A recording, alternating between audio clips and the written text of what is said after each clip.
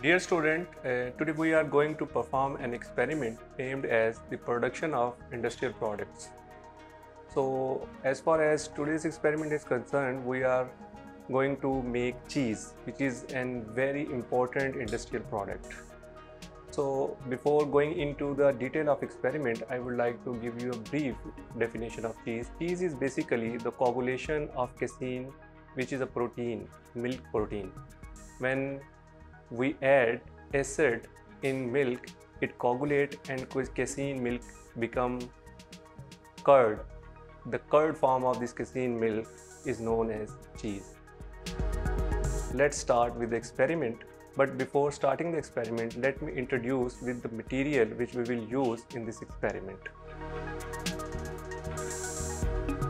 Here in this beaker, we have milk.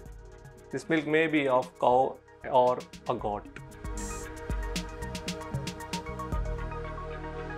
1000 ml glass beaker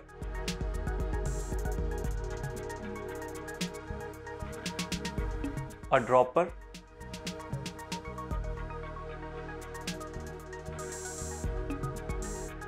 a glass stirrer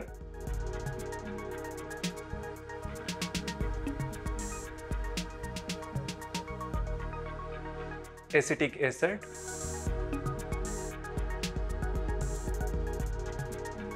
and a filter paper.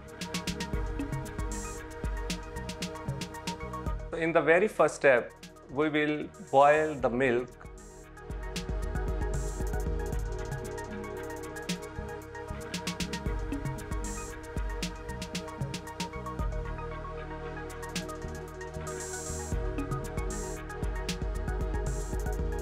So as the boiling time of milk has been completed, now we'll take off milk from the oven.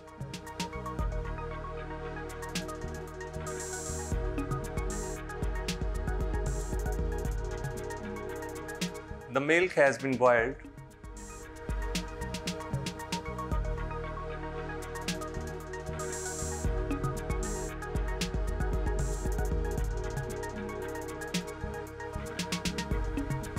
Now with the help of dropper, we will add few mLs of acetic acid around 3 to 4 into the milk.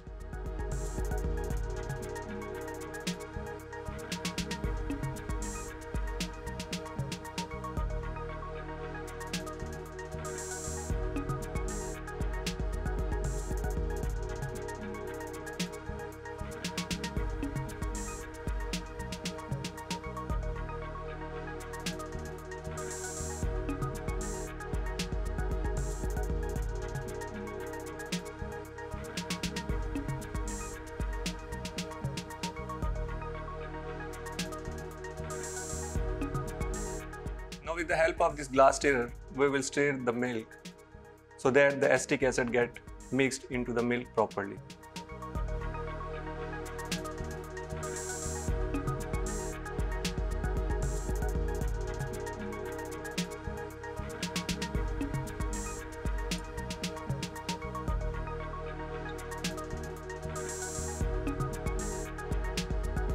Now we'll simply put this milk for 5 to 10 minutes in order to coagulate it. So now as the milk has been coagulated, now we will filter this coagulated milk with the help of filter paper.